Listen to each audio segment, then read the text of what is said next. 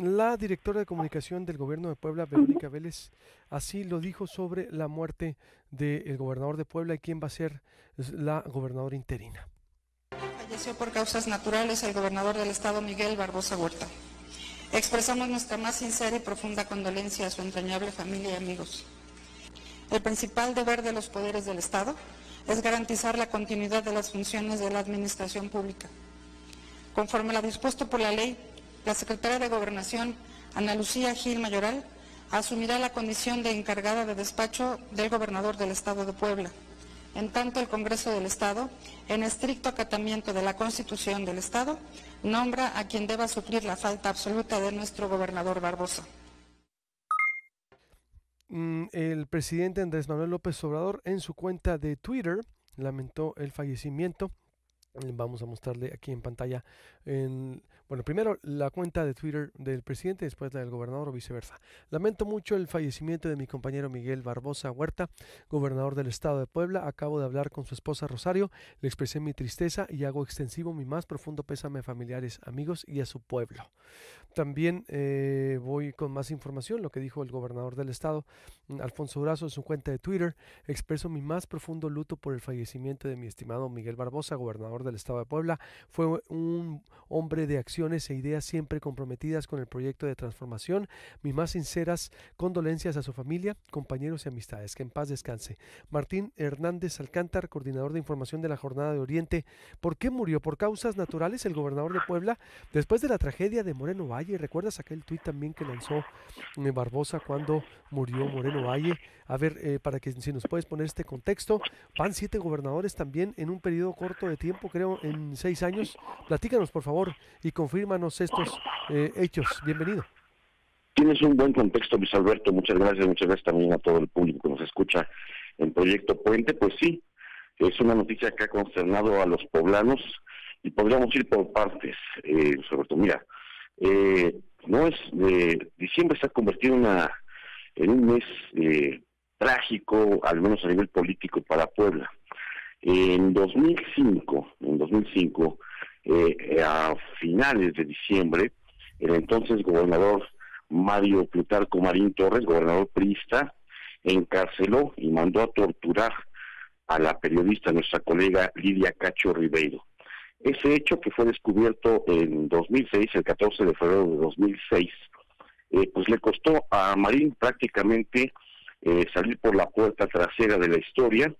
No tuvo para nada un gobierno estable, prácticamente tuvo que andar huyendo de la opinión pública, no pudo gobernar, tuvo que gobernar otra persona, el entonces secretario de Gobernación, Javier López Zavala por él, y a la postre, a los años, 14 años después, pues Mario Marín Torres se encuentra en la cárcel, se encuentra, bueno, fue, fue encarcelado. Eh, ese fue el costo que tuvo que pagar Mario Marín Torres por sus abusos de poder. Después, después, eh, nos trasladamos ya eh, en fechas más recientes, el 24 de diciembre de 2018, la gobernadora eh, Marta Erika Alonso Hidalgo, que llevaba apenas 10, 10 días en el cargo, y su esposo, el exgobernador Rafael Moreno Vallerosas, que era entonces senador de la República y prácticamente el coordinador de la bancada del PAN eh, en la Cámara Alta del Congreso de la Unión, fallecieron en un trágico accidente eh, de helicóptero, lo cual motivó que hubiera una elección extraordinaria. Hay que decir, hay que recordar que Marta Erika Alonso fue eh, rival contendiente de Luis Miguel Barbosa Huerta en la elección de 2018 por la gubernatura. Barbosa y Moreno Valle en su momento, en 2010, fueron aliados, pero luego se pelearon, se separaron, se volvieron archirrivales y bueno, se dieron las caras como grupos, el grupo de Moreno Valle y el grupo de Barbosa en 2018. Se habla aquí en Puebla, tenemos constancia de que se cometió un fraude, un fraude que se atribuye a los Moreno Valles, pero después de, las tribulaciones eh, que llegaron hasta el Tribunal Electoral del Poder Judicial de la Federación, se determinó que Marta Erika Alonso había ganado, ella rindió protesta y diez días después falleció con su esposo, eh, Rafael Moreno Vallarosas, en este trágico accidente el 24 de diciembre. Después de eso hubo una elección extraordinaria y esa elección extraordinaria la ganó Luis Miguel Barbosa. Esto por supuesto motivó que hubiera un gobierno interino, más o menos de un año, y bueno, Luis Miguel Barbosa Huerta asumió el poder el primero de agosto de 2019, Luis Alberto. Eh, hay que decir y hay que recordar que Luis Miguel Barbosa Huerta traía un problema de diabetes desde hace 30 años.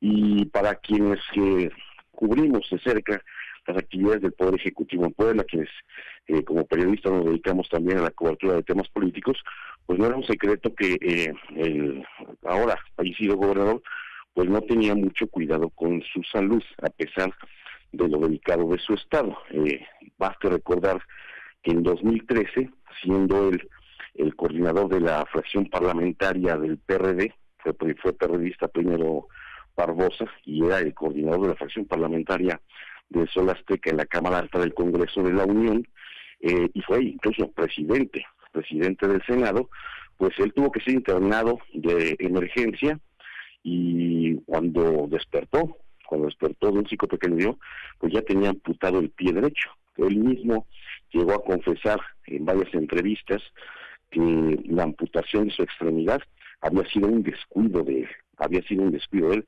por no haber hecho caso a las recomendaciones que le hacían los médicos y bueno, pues ese descuido le llevó a perder la pierna, la pierna, parte de la pierna derecha. En esas condiciones, eh, pues así, casi contendió en 2018, así asumió el poder en 2019, pero hay que decir que desde entonces su salud se veía muy deteriorada. Como Andrés Manuel López Obrador, el presidente de la República, eh, pues Luis Miguel Barbosa implementó una suerte de, conferencia mañanera, a su modo, hay que decirla, con medios que eran afines, eh, vía remota, y bueno, se veía ahí el deterioro físico del gobernador, fue perdiendo la agudeza visual, se decía que estaba ya casi ciego y eso era evidente. En algunos momentos el gobernador tenía una lucidez extraordinaria, fue en su momento un político de grandes alturas, hay que recordar nada más que formó parte como periodista del llamado Pacto por México, que pues llevó a cabo las 11 reformas estructurales de Enrique Peña Nieto, que fue también como senador de la República quien desbandó la fracción del PRD, pasándole al PT en su momento para apoyar a Andrés Manuel López y formar lo que en los hechos se llamaba, aunque no había registro de tal, la bancada de Morena en la Cámara Alta, un político de mucha visión en su momento, pero que también se llegó a, exhibir él solo, hay que decirlo, es, fue así, pues con dislates, eh, con cambios de humor repentinos en las ruedas de medios, eh, a veces muy cansado, errático, y que también, pues no, eh, su ejercicio de gobierno no tuvo la tingencia que se esperaba para un político de sus vuelos. Eh, hubo, ha habido en este tiempo en apenas cuatro años más de 20 cambios en su gabinete, no se apreció un proyecto político de obra pública que diera identidad. Bien. Entonces, lo encontramos en... Para conclusión, por, por los tiempos, conclusión, entonces, 20 cambios en el gabinete, vaya información. Si fue muerte natural, entonces, alguien que no se cuidaba la salud, como dices. Nunca se Sí, sí fue muerte natural. O sea, si la consideramos como, como es decir, no fue un accidente, no fue un asesinato, por supuesto que no. Fue un asunto de su propia salud que él mismo no cuidó. Eh, nos parece eso. Y al final pasó esto. Lamentable. Eh, gracias, Martín. Te mando un abrazo y estamos en contacto.